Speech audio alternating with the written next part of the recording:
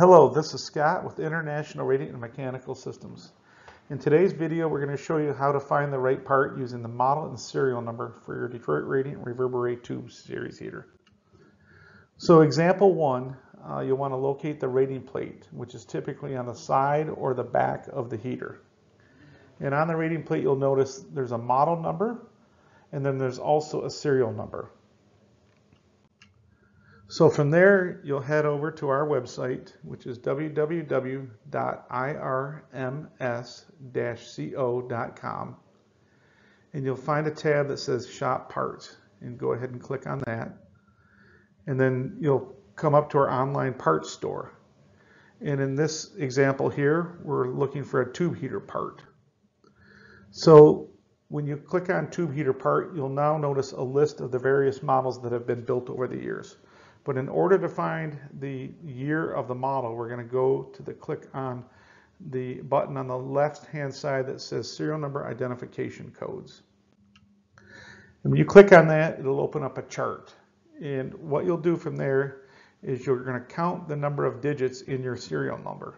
And you may notice uh, in the 1970s, for example, it was only six digits in the serial number, and then in the 80s they moved into 10 digits, and in the 90s, they moved into 16 digits or more. So in this particular example, we have a 16 digit number. We're going to follow that over on the column and find out that that heater was built between 1990 and 1997. So from there, we're going to focus on the very first three numbers, the year and the month. So in this example, we see that the heater was built in 1996 in the 10th month, which would be October. So now we go back to our page that lists all of our heater models. And we go and find our model number, which in this case is the DX6200. So now that I know that it's built in 1996, I go down to my line that has the DX series model in that time frame, in, which happens to be line 27. And now I can click on that and it'll pull up the list of parts that were, were built for this heater in this era. And I can go to the, the proper part that I need and place it in my shopping cart. And then I can complete my purchase. So example number two, again, we're locating the rating plate on the heater. This is for maybe some of the newer model heaters. Um, in this case, we have an HL340 150 and we look at the serial number located next to the model.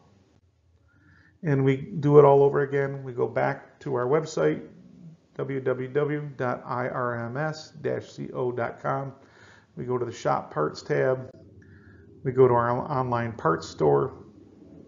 We click on the Tube Heater Parts tab. And we're going to go on to our serial number identification code chart. And then we're going to now go across our chart because this, this particular example has 18 digits. That's why I want to show this different example. Because when I follow 18 digits over and I take that down, you'll see that those were heater models that were built from 2009 to present. So in this particular model here, I look at the, the uh, first four digits. So this particular model would have built, been built in 2018 in the third month, so March of 2018. So now I go back to my uh, page that shows all the various models. And again, I reference my model number now, now that I know the model and the year. And in this particular example, um, this is line 23, the HL3 series heater, which was built between uh, 2014 and present. And now that I've clicked on the page for my particular model. It shows me the list of parts. I can go and find the part that I need and I can place it in my cart and I can complete my transaction. And that concludes today's session. I thank you for your time.